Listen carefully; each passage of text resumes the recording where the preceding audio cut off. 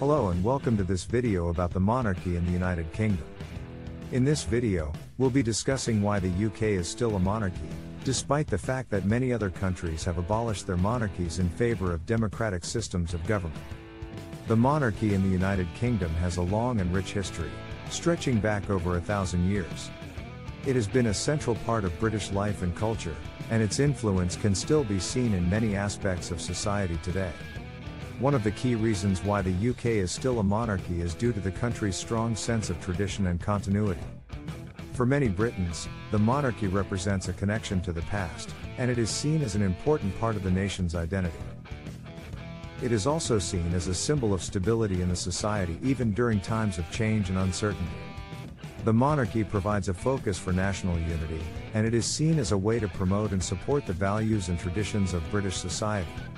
Additionally, the monarchy is involved in many charitable and public service activities, helping to improve the lives of people in communities throughout the country. In terms of its relationship with the government, the monarchy in the UK has evolved over time to become largely symbolic and ceremonial. While the monarch still retains some formal powers and duties, such as signing laws into effect and appointing prime ministers, the actual role of the monarch in the workings of government is limited.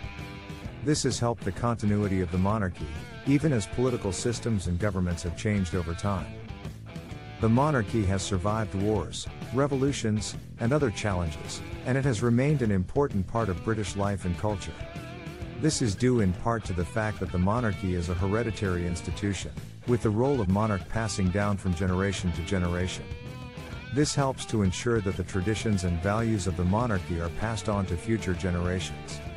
To summarize, the UK is still a monarchy because of a combination of tradition, continuity, and cultural significance. While the actual role of the monarch has evolved over time to become largely symbolic and ceremonial, the institution continues to play a significant role in the lives of Britons and in the history of the country. We hope you found this video informative and engaging, and we thank you for watching. Don't forget to like, share and subscribe to our channel.